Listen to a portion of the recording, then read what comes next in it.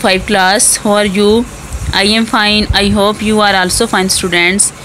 Students हमने week number जो nine है, वो स्टार्ट किया हुआ है। वीक नंबर नाइन आज हम कर रहे हैं planner number thirty five planner number thirty five जिसमें हम जो है स्टार्ट करने लगे हैं unit number six unit number six में आपकी रीडिंग है energy and power resources energy का मतलब होता है तोानाई ठीक है? एंड पावर रिसोर्सेज जो बिजली के वसाइल वह रहे हैं। पावर का मतलब होता है ज़ोर, ताकत कुत ठीक है?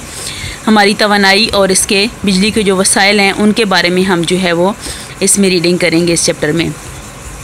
No we start read the progress of any country progress का मतलब होता है किसी भी तरक्की, किसी भी मुल्क की एनी कंट्री किसी भी मुल्क की तरक्की का जो इंसार होता है depends upon the power and energy resources किसी भी मुल्क की जो प्रोग्रेस का इंसार वो किस पर होता है? पावर पर और उसके जो एनर्जी के रिसोर्सेज होते हैं, उसके बिजली के जो वसाइल वगैरह होते हैं तोानाई के जो वसाइल होते हैं, उन पर होता है।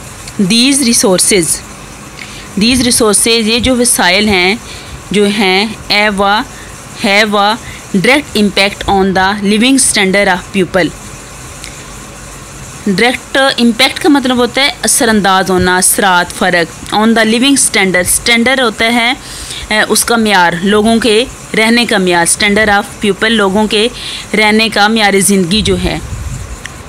And industrial sector of the country और किसी भी इंडस्ट्रियल सेक्टर के लिए कंट्री के इंडस्ट्रियल सेक्टर के लिए जो है, ये रिसोर्सेज जो हैं वो बहुत ज़्यादा ज़रूरी हैं, और उनके मैार पर बहुत ज़्यादा लोगों के जो म्यार ज़िंदगी हैं, उन पर बहुत ज़्यादा असरानंदाज होते हैं।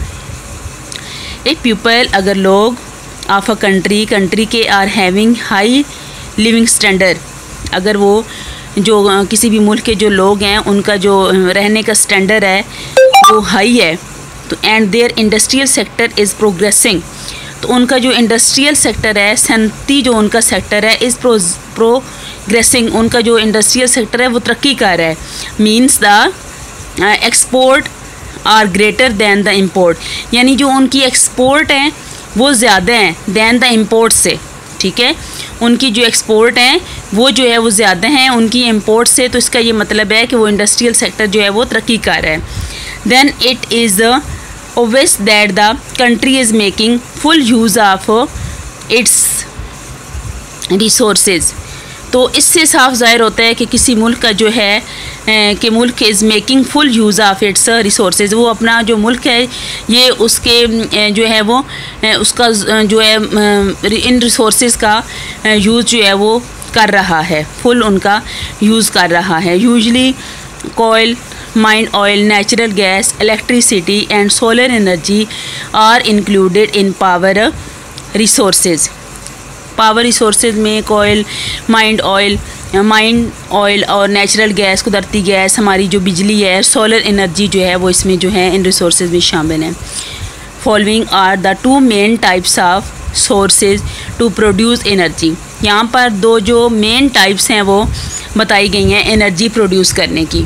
दो ज़रिए जो हैं, वो मेन जो ज़राए हैं, वो बताए गए हैं। सबसे पहले जो नंबर वन है, वो है कन्वेंशनल सोर्स ऑफ़ एनर्जी और नंबर टू है थर्मल एनर्जी जो कन्वेंशनल मीन होता है, रवाजी रस्मी सोर्स ऑफ़ एनर्जी और जो थर्मल होता है थर्मल का मतलब होता है हरारती तोानाई थर्मल एनर्जी हरारती तोानाई हरारत से मतलब जो तोानाई होती है। इन दोनों जो सोर्सेज हैं एनर्जी के मेन जो टाइप्स हैं सोर्सेज की, इन दोनों सोर्सेज के बारे में इंशाल्लाह हम कल के लेक्चर में जो है वो इनकी इसकी रीडिंग करेंगे। Okay student best of luck अल्लाह हाफिज़।